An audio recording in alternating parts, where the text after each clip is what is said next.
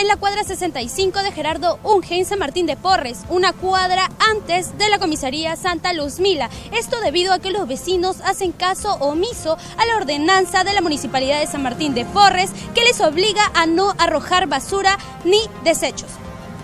Pese a la cantidad de carteles que prohíben el arrojo de desmonte y basura, los vecinos de la zona ya no respetan esta ordenanza. Como podemos observar en esta parte de la avenida hay gran cantidad de desmonte e incluso hay un perro muerto que crea un olor nauseabundo. Según algunas personas que transitaban por esta zona, la municipalidad sí cumple con retirar el desmonte, pero son los propios vecinos que no hacen caso y continuamente arrojan desechos sin importar que podrían pagar una multa de más de 986 soles. Este desmonte está siempre acá, no, los vecinos no hacen nada, la municipalidad de Los Olivos tampoco. Parece que a la municipalidad no le importa, porque siempre votan la basura, siempre, siempre. La municipalidad no, no toma carta en este asunto.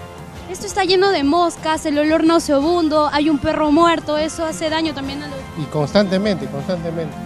Y siempre, no sé, la, ¿cuál será pues la municipalidad? No sé, ¿cuál será su propósito de ellos? Que dejan botar la basura. Estaba, ese letrero está por gusto. A pesar de que hay una multa ahí. A pesar, no sé, vienen los tricicleros, lo botan, lo botan y la comisaría está ahí. Y dime, ahí dice que existe una multa de 900 y tantos. ¿Los vecinos no les importa?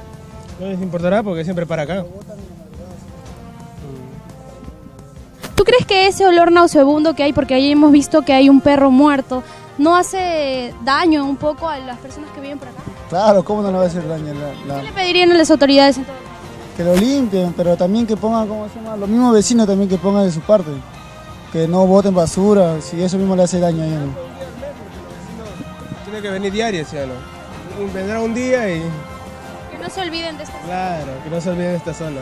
Sin duda, esto podría causar enfermedades como infecciones respiratorias, intestinales, gripe, cólera, entre otros. Así que esperamos que la Municipalidad de San Martín de Porres pueda poner mano dura ante esta situación.